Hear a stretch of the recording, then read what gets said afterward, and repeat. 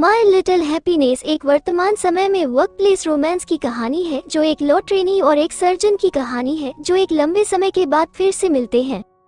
वे कलिक और पड़ोसी बन जाते हैं, जैसे ही वे समान रूप से मेल खाते हैं। एक रिश्ता पनपना शुरू हो जाता है। कहानी का प्लॉट कांगरोंग और वेन शाओ के बीच घूमता है।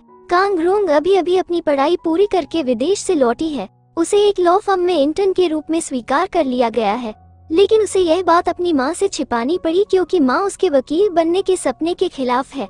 अस्पताल के कर्मचारियों और मरीजों के बीच उत्पन्न होने वाले कानूनी विवाद के मामलों को संभालने के लिए कांग रोंग को इंटर्नशिप के दौरान स्थानीय अस्पताल में भेजा जाता है। डॉक्टर वेन शाओ किंग से जुड़े मामलों में से एक और उन दोनों की पहली मुलाकात के दौरान वास्तव में आपस में नहीं बनी थी।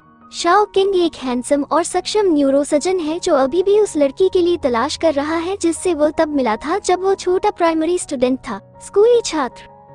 उसने उसे बदमाशों से बचाया और वे अच्छे दोस्त बन गए। वो स्कूल में उसका सीनियर था लेकिन उसने कभी उसे अपना नाम और क्लास नहीं बताया था।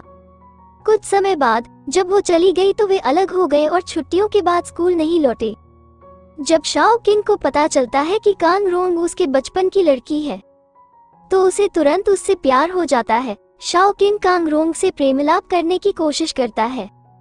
जिसे इस बात का अंदाज़ा नहीं है कि वो उसके अतीत से संबंधित है। उसी समय कांगरोंग का सबसे अच्छा दोस्त, झू चेंग चेंग वेन रंग की किताबों की दुकान के बगल में एक रेस्तरा खोलता है।